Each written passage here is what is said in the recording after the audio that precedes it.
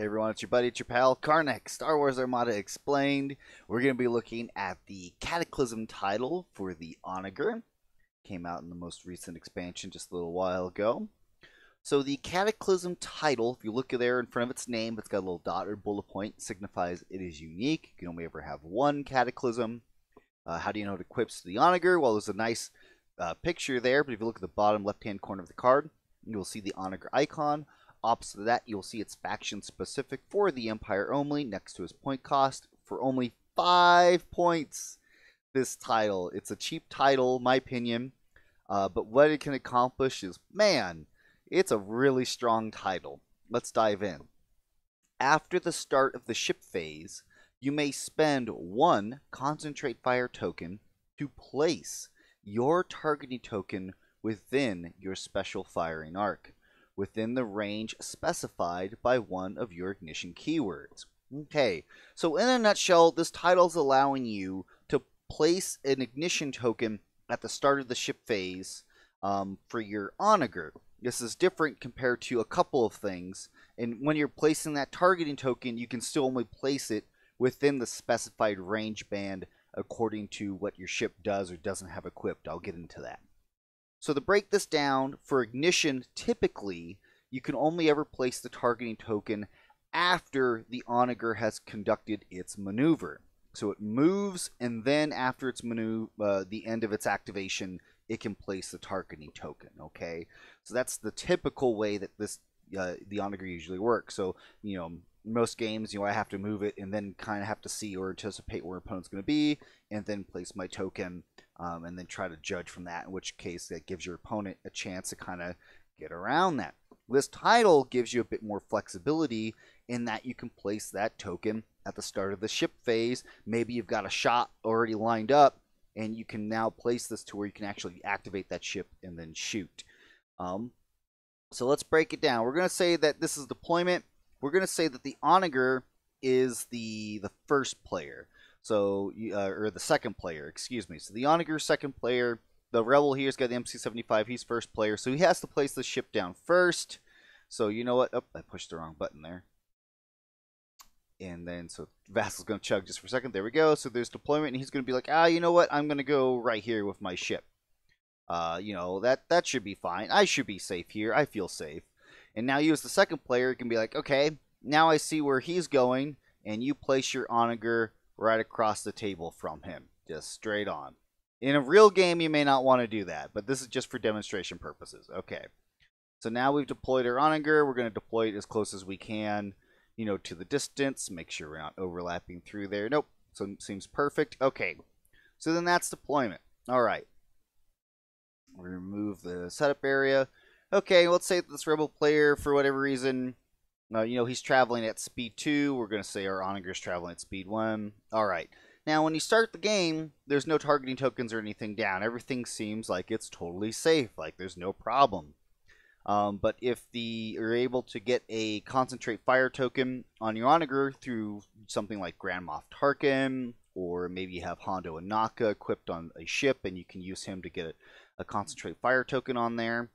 So let's say we'll have something like that.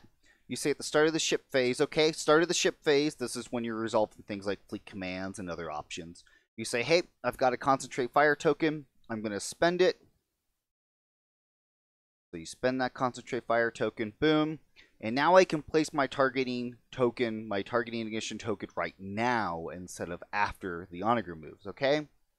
So let's look at the range band. Now typically an onager can only ever place a targeting token at close or within close range, so something like that. And you might be thinking, well, that doesn't seem like that's very, very useful at all. It doesn't increase the range by all that much. Well, if you have a title equipped, for example, like orbital bombardment particle cannons, which, you know, at some point I will be covering those cards, um, it allows you to place an ignition token within long range. It's like, oh, well, that MC75 now, if I place this within long range, oh, look at there. I didn't even have to do anything. And I can already shoot their large ship. You know, or I rather I'm placing this token so I potentially can shoot their large ship. And you're like, all right, so I've used Cataclysm. I have the this uh, what we call there's red and blue laser beams. I have the red laser beam equipped that allows me to place the ignition token within long. Um, so I've done that. Okay, so I've spent the token, placed the target token. Now that's where that token's going to be. Go ahead and make your move.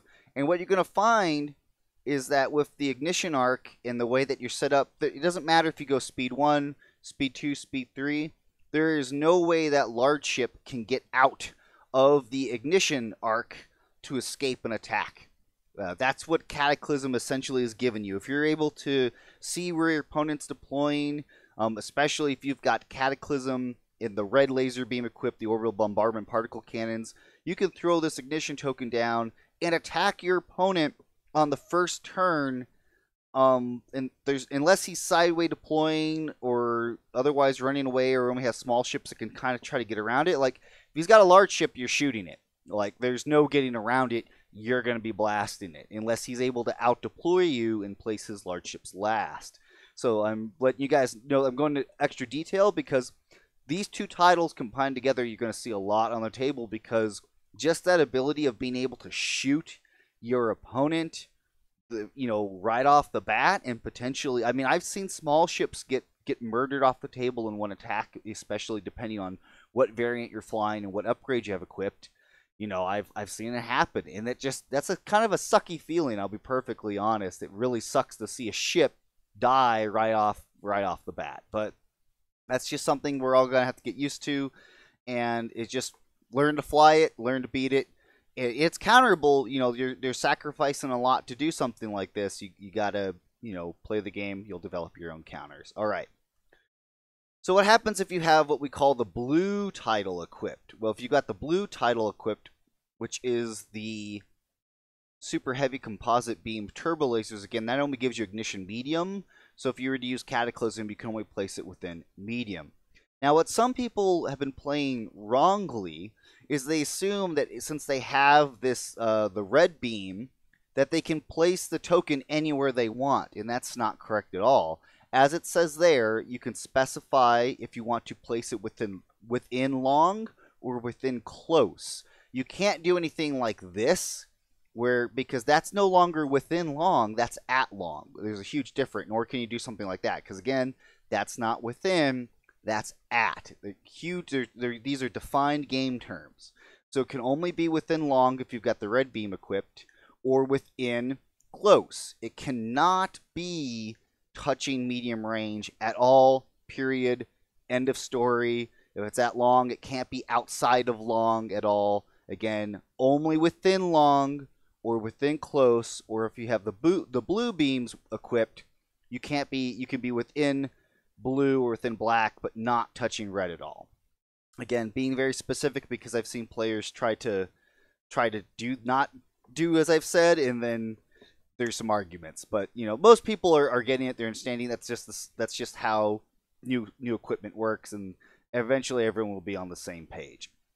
Okay, so that's Cataclysm in a nutshell. Um, I don't think I missed anything else regarding it. Again, you've got to do at the start of the ship phase. You have to spend a concentrate fire token. You can only place that special token within the range specified. And again, that can change depending on which super weapon upgrade you have equipped. Uh, there is no other crazy interactions or anything else going on with Cataclysm that I'm aware of. Of course, if you think that there's anything different or something wrong, please be sure to make a comment, post about it, let me know about it. You guys are fantastic and I'm going to keep putting out some videos. I got a, a special video uh, planned for this weekend. I'm going to be reviewing a product, and I hope it's something you guys are going to enjoy. You guys are great. I'll see you next time.